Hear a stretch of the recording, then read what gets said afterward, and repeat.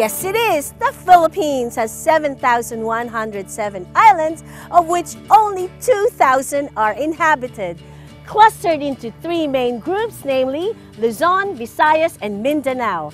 I am here right now in Cebu, and I'm about to visit four islands in Lapu-Lapu. Now, who could possibly join me now?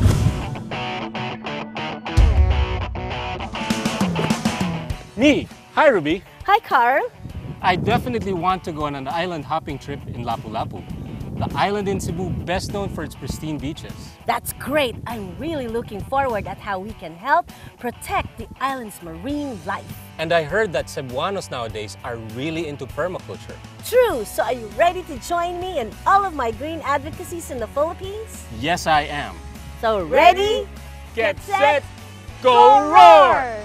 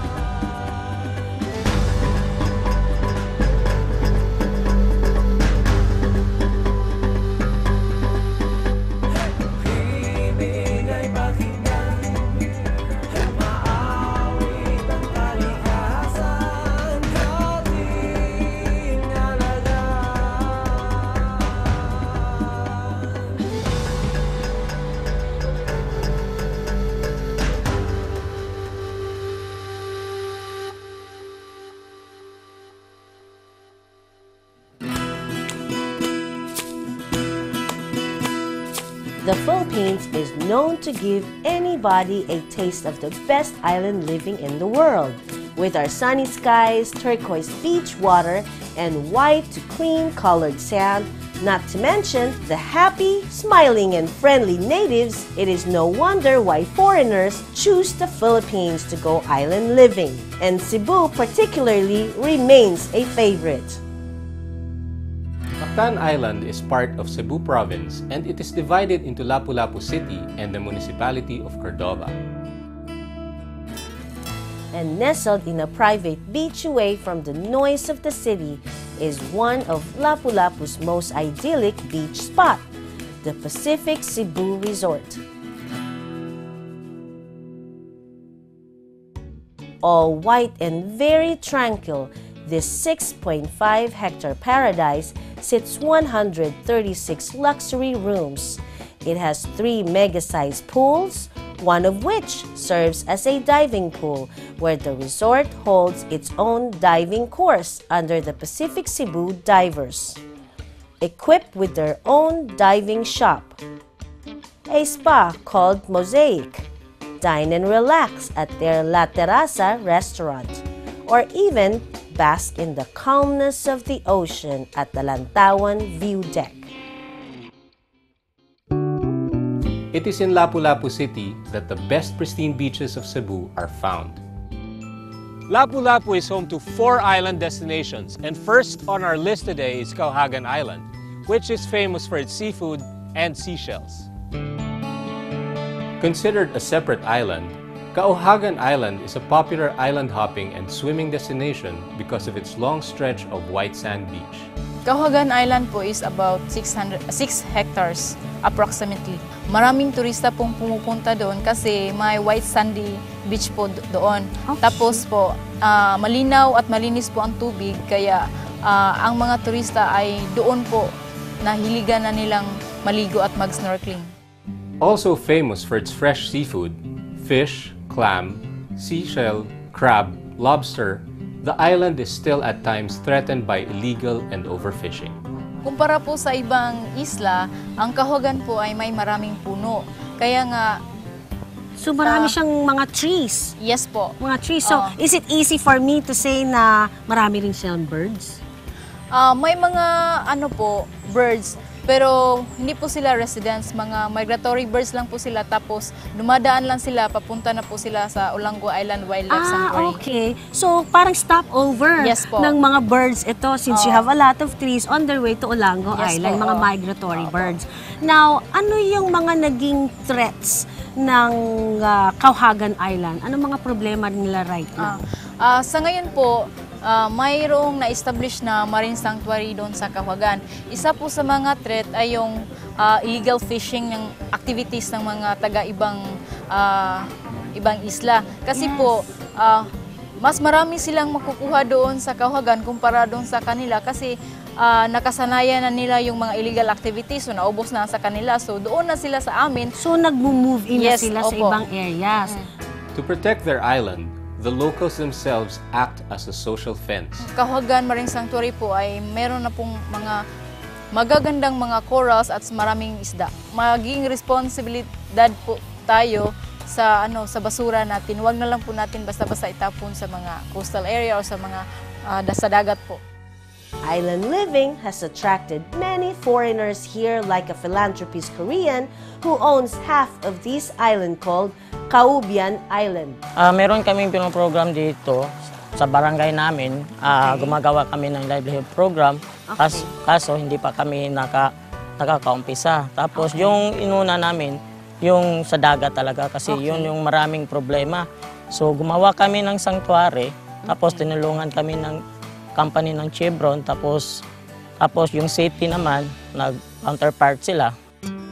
Located at the east side of Mactan, Kaubian has two islands, Kaubian Gamay and Kaubian Dako, or the Po Island. Bali, dalawang isla tong ah, island ng Kaubian. Isang malaki, isang isang maliit. Yung maliit, bali, private din yun. Tapos, yun yung ginagawa namin. Barangay na ngayon, yung mas maganda dito kasi parang nanatili siyang virgin. Tapos, wala gaanong crowd. Then, maraming mga ano dito, seahorse, merong iba't ibang klase ng seahorse, saka mga shell, mga isda, mas malayo. Mas marami pang nakaka kakaunti pa lang dito yung nakaka-explore dito sa amin. So tapos hindi pa gaano crowd. So wala pa wala pa kasi Kumbaga like what you said, it's Virgin Yes, Island. Virgin Island. Virgin Island. So kailangan talaga siya ma-appreciate siya ng buong ta- tao. Kung gusto nilang ah, pumunta dito sa Lapu-Lapu, kailangan lahat oh, lahat ng area ng Lapu-Lapu dapat puntahan nila na oh, para naman ma-appreciate nila kung gaano kaganda. This smaller Kaubian island is breathtaking with its cream-colored sands and clear waters. Bukod sa enforcement, meron kaming pulis at saka yung mga barangay pulis at saka mga face warden. So binabantayan ninyo Binabantayan ang yung waters water, to make yung- sure oh, na yung, yung- mga illegal activities eh ma- ma-stop Ma- ninyo. may stop. Maraming seahorse dito na endangered na. So maraming mga mga shell dito. So maraming Ga- bio, oh. marine biodiversity na Mm-mm. nakita Pwede, oo. nila na worth na suportahan inyong Oo. programa. Oo. Continuous efforts are being done by the locals to protect their two islands as it is a marine protected sanctuary.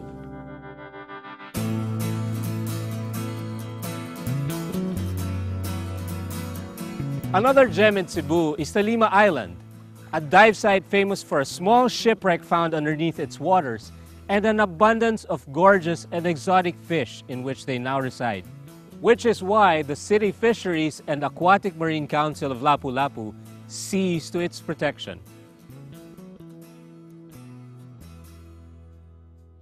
Ilan ang marine protected areas meron sa Lapu-Lapu? As of now, mayroon na tayong ah, Siam na protected area. Nine. Yes. Ang oo. dami na pala niya. And what are the criterias para maging ma-qualify sila as a marine protected area?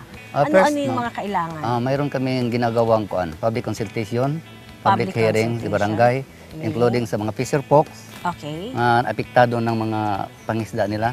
Okay. Then there is a letter of intent. Then i-monitor namin, mayroon kaming uh, RIPSIC monitoring or evaluation Okay. kung kailangan bang i-protekta ang ang lugar. Yung no? area na Yeah, yon. yeah. True it is.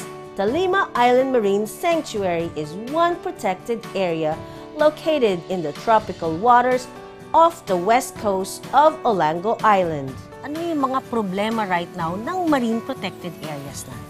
Ah, ah, pagka ngay- ah, ngayon, ma'am, mayroon, mayroon pang ah, mga illegal fishing na Illegal fishing? yes, mayroon pa. Pero Yes. konti na lang. Locals or mga dayuhan? Ang iba, mga dayuhan, si other, as a Other, local. ah, ano, so outside Lapu-Lapu Out- City yes, or outside ah, ah. the Cebu area. Home to an abundant species of tropical fish and even a small shipwreck at 18 meters. So what are the solutions na ginawa ng ah, Sea Farm ng inyong ah, organization and council? By the way, mayroon kaming kuan, ang City of Lapu-Lapu na created the Task Force Kalikasan, no? Okay. Then mayroon tayong ah, deputized fish warden. yes, yes. Then including We sa met one. yeah, and also the fish examiner. I'm also a fish examiner, ma'am. Yeah. Okay. Ah. So, marami so, kayong kompleto na, kompleto Okay. ng kuan. Ngayon, marang, mayroon na tayong kuan, may, mayroon ng ah, development. Lapu-Lapu is bustling and grooving and occupies most of Mactan Island. But even with the high urbanization in the city, Lapu-Lapu strives to be clean and green. How would you describe the eco-sites of Lapu-Lapu and how important are they to the city? Well, uh, basically, we have uh, nine uh, eco site here, and plus the wildlife sanctuary here in Lapu-Lapu City, and uh, as well as Olango and the Kaubian Island. Uh, it was some maintained by uh, the L- L- LGU, and also some are maintained by the resort for the guests to go there and to enjoy as well as the the underneath uh, activities. That is why they are beefing up their ecotourism programs in the island to meet the demands of all industries concerned. We position Lapu-Lapu City as the tourism hub.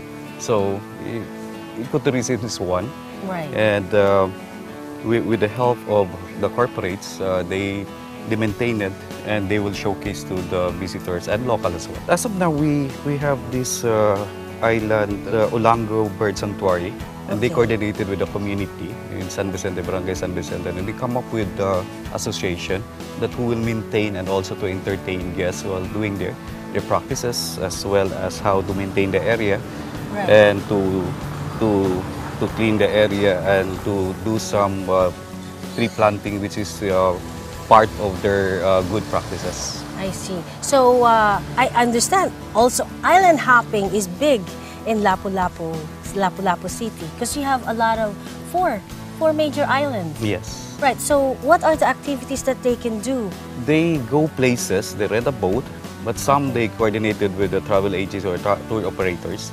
And uh, they, they have the itinerary to go uh, first, uh, first island, second island, third, and fourth island. Namely, they are uh, from uh, uh, Panganan, Kaubian, Olango Island, and uh, uh, Kawagan as well. So there are different types of features that you will, by the time you go there, it's a different experience that you will have. When you go from one island, Uh, island, island to, to, the another other. because they have features um, uh, the, Different the, the unique culinary. features. Yes, uh, when you say unique features, their their their food, their culinaries. Uh, they have the seashells. The, the famous one is saang. Uh, saang is uh, seashells, and uh, you simply just cook it, uh, Steam it. uh, steam it, sometimes you grill it.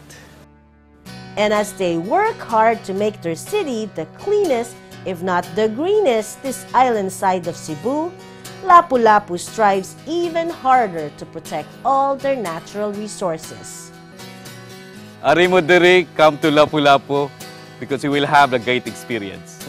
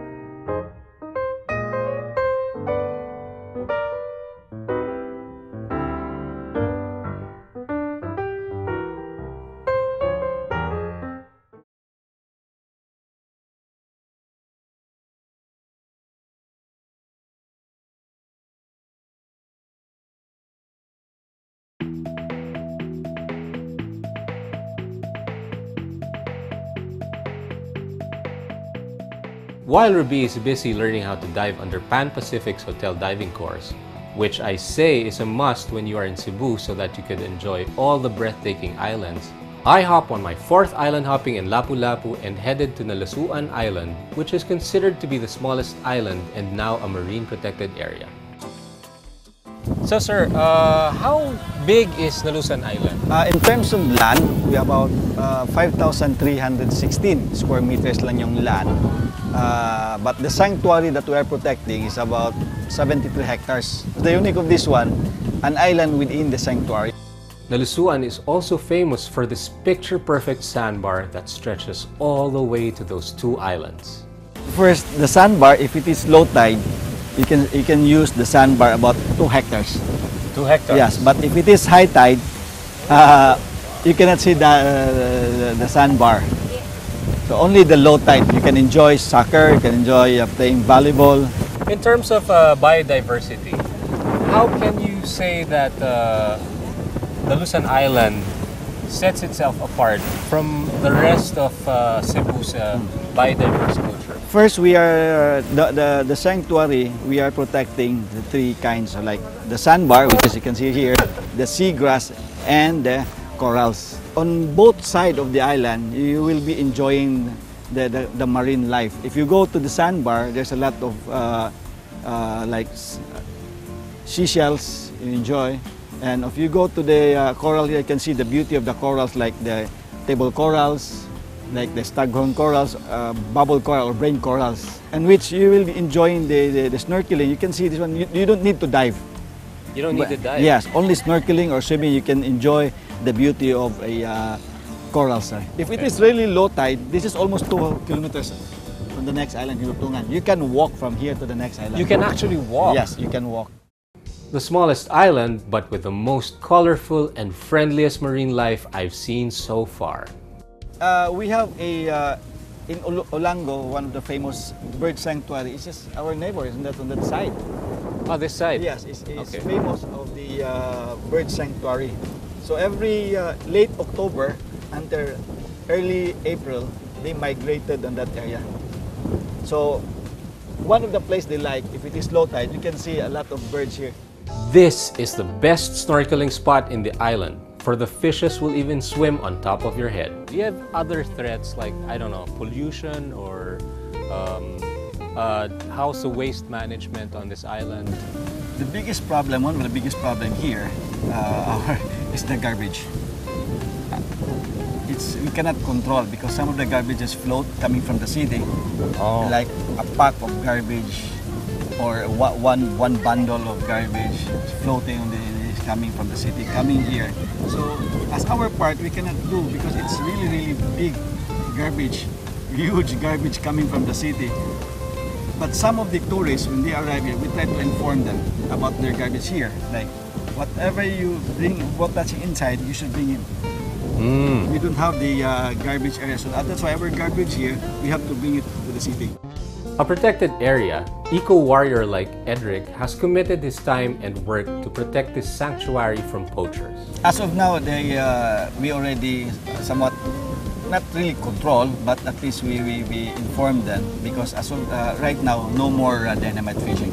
Totally That's no good. more dynamite. With the coordinations of the local government of the Cordova, especially the mayor, uh, uh, Adelino Sitoy.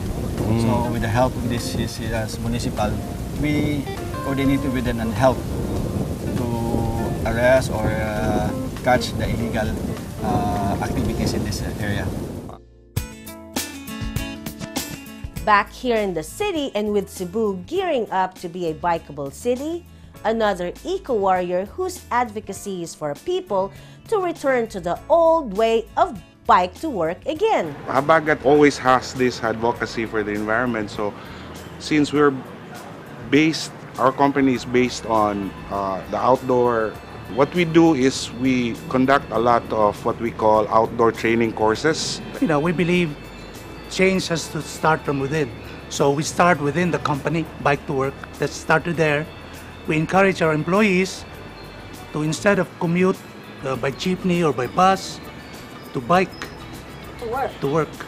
Save save a lot of money that way. Right, you save a lot of money, and it's you clean, and then you Yeah. don't contribute to pollution, and, And everything is. the environment. Working to be stewards of the environment, they have started the Bike to Work program in 2008.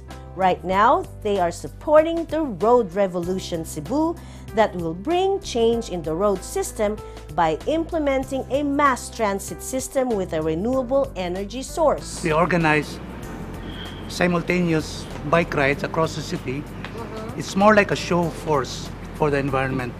It's uh, in conjunction with the Earth Hour celebration all over the world. Right, that's the International Yes, Earth Hour that we have. Where So in one hour, we, as much as possible, people try to uh, Turn off the off the lights. lights, not use power, right. and not use cars. That's the concept. Aware of the continuous degradation of the environment, the companies behind many great campaigns that aim to protect the environment. Habagat as a company has always been supportive of different advocacies done by different groups. Like there's like this, the scuba diving group of Cebu, for instance, has this regular uh, clean the ocean campaign. Okay. So Habagat goes in and takes a look at what resources are needed for them to do a successful cleanup. So that's where we can come in. A lot of groups also in the mountaineering community, they do a lot of cleanups. Right, right. So it's pretty common for them to ask Habagat to sponsor. And then we said, we don't give you guys, we don't give you money, but we can give you garbage bags. We can give you bags to put the garbage in. We can provide transports. Habagat has also started the Clean Earth campaign to promote multi-purpose canvas bags as an alternative to plastic bags and the promotion of Earth Hour. Being in the outdoor equipment industry, we feel the responsibility has been upon us to be stewards of the environment. And we would like to pass that on to our, to, you know, everybody would care to listen. Taking care of the environment doesn't require you to totally change your life. Every everyday little things, it will all add up. We have this uh, corporate culture that we want to inculcate among the people of Habagat, our staff, our workers. It has to be a lifestyle. Lifestyle change. Yes, and, and the theme is will should always be what we normally term as capitalism with a conscience. Okay. So it's not really all about the money. Abagat doesn't think that way. It's actually how we make use of our profits, how we put back some back of our profits to the community, to, to nature, to the environment. So that is simply the reason why we're very active in supporting advocacies for the outdoors, for the greater environment. True to its work, built by hand, tested by nature, Habagat continues to support all environmental and conservation acts.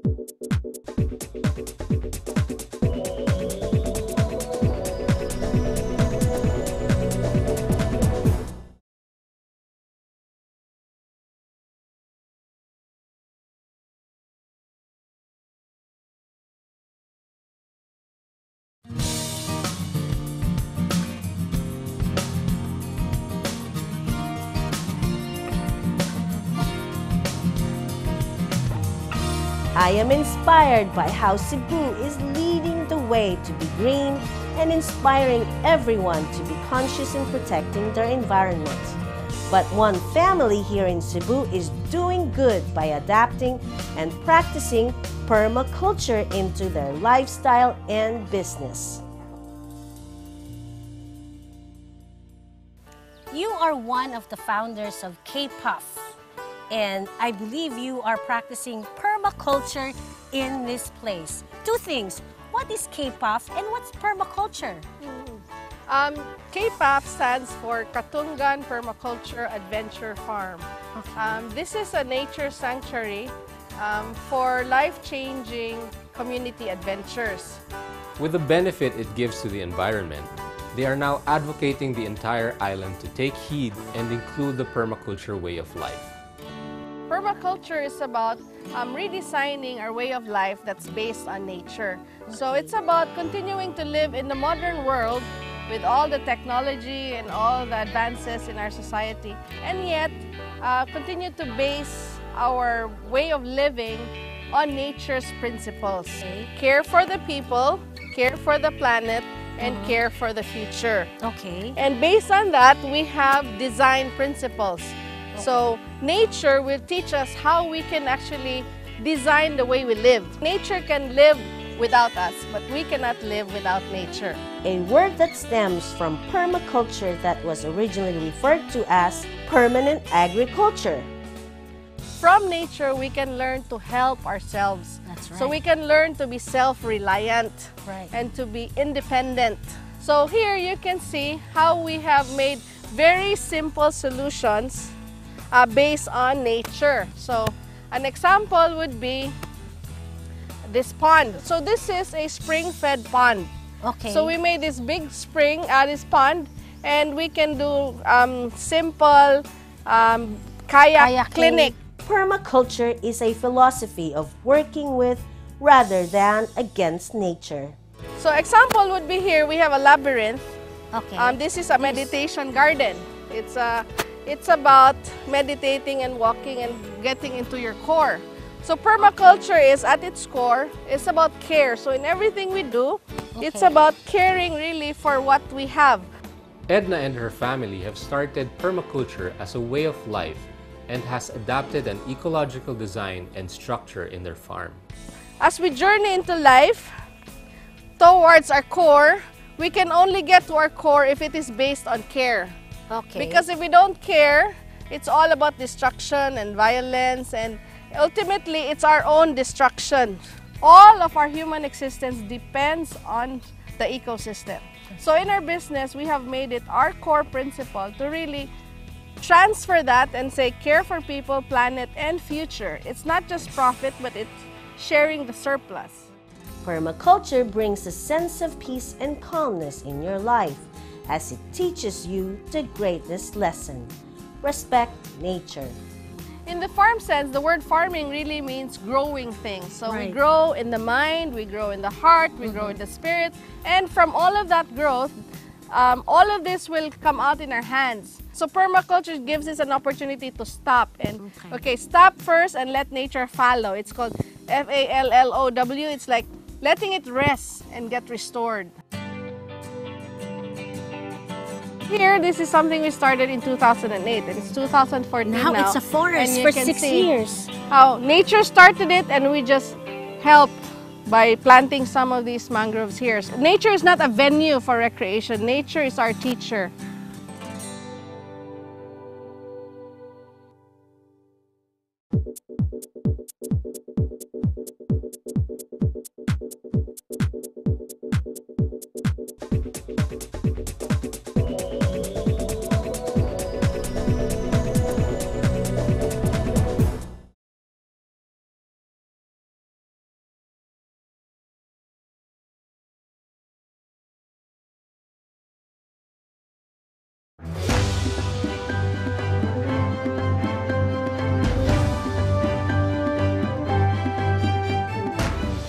Makes Mactan and Lapu-Lapu cities amazing is the way they protect and campaign to people to protect their homes, their islands. They fight for clean air by advocating a bike-friendly city and pushing for permaculture in all aspects of living.